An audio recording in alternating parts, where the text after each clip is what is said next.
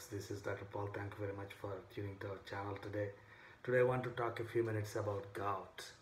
Gout is an inflammatory arthritis and many times it involves one or two joints.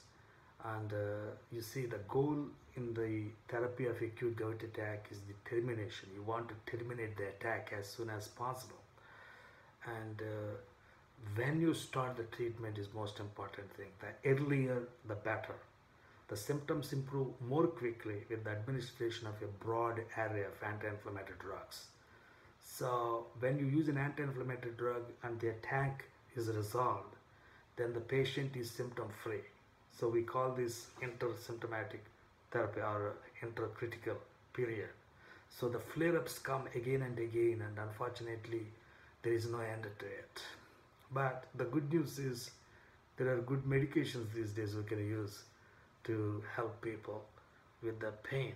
When, when there are recurrent flares who patients develop chronic arthritis, they can develop, uh, actually benefit a lot from long-term prophylactic therapy with urate lowering agents because the, otherwise the recurrences of this acute gout, they continue to happen. So I want to give you some basic principles. There are several classes of anti-inflammatory agents that are effective for the treatment of acute attack uh, including non-steroidal anti-inflammatory drugs. There is the colchicine. There is systemic and intra-articular glucocorticoids. There are biological agents that inhibit action of interleukin-1 beta. So a set of general principles is important in the effective management of acute gout, regardless of the specific anti-inflammatory agent that you want to use. Now, first thing is treatment should start as soon as possible after the patient perceives the beginning of an attack, preferably within several hours of symptom onset. More rapid and complete resolution of symptoms occurs if you start the treatment immediately, especially if the treatment is initiated in the first few hours. Don't wait. Don't play hero with this disease. Some people say, oh, I'm like, I can bear pain. What they are doing is they're prolonging the attack. So if you do late, you are only prolonging the attack. So don't do that. Start the treatment immediately. Complete cessation of treatment can be effectively safely done in two to three days.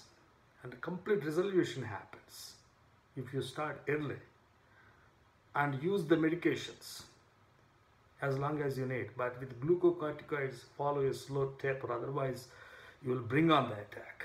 The duration of therapy could be few days. I have patients who develop within like two, three days. They were completely symptom free. But unfortunately, some patients take weeks, weeks and weeks because they don't seek immediate treatment. So most patients require no more than five days. And uh, I have patients that uh, have symptoms for months. Most patients require treatment for no more than five to seven days. If they act, uh, if they seek your treat, uh, treatment within few days, within few hours. So that's very important. Start treatment immediately. Then think about uh, urine lowering, uh, urate lowering therapies. And the, remember, if a patient is allopurinol and he gets an attack, or febuxostat, or probenecid, or benzbromarone, or pegloticase, these are like uh, urate lowering agents. Don't stop them during the acute attack.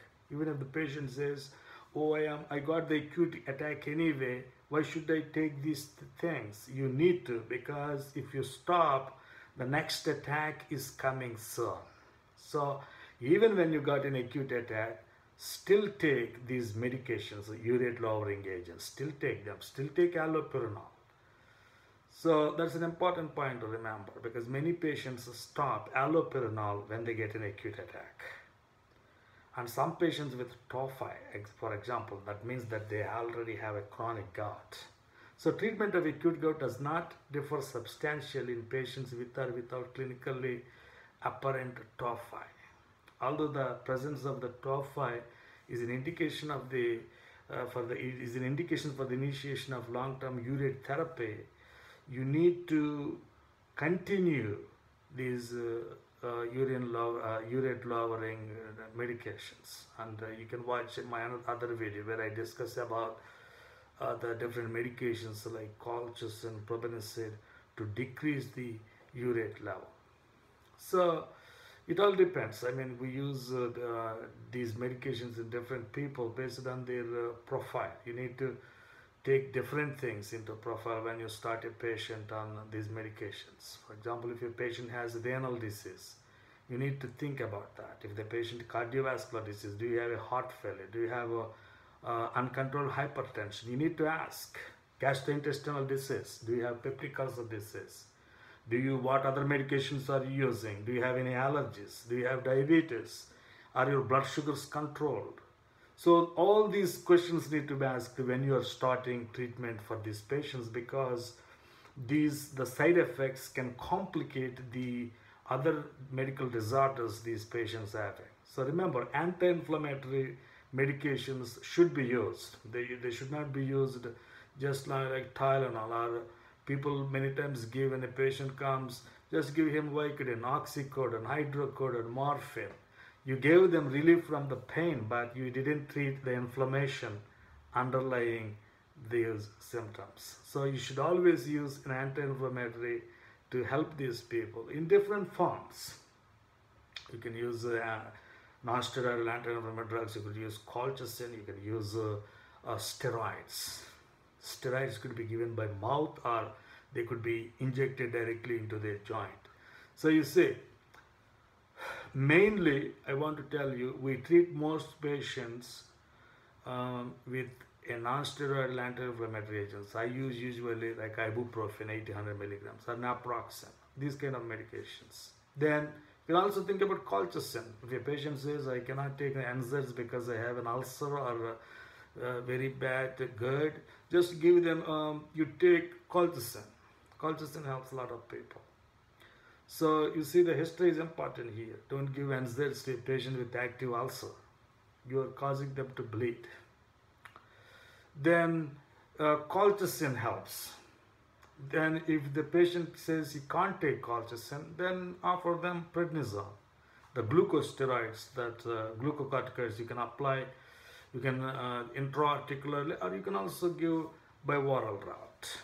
So NSAIDs, colchicine and uh, uh, glucocorticoids, they are very good and remember start them as soon as possible because otherwise you are, you are prolonging the attack and uh, actually causing more problems to these patients. So I hope these uh, recommendations will help you. Follow the other videos also where I discuss gout in depth so that you could be uh, uh, well. If you are a doctor, you would be able to treat your patients well. If you're a patient, you would be able to take care of your gout in a better way. Thank you very much.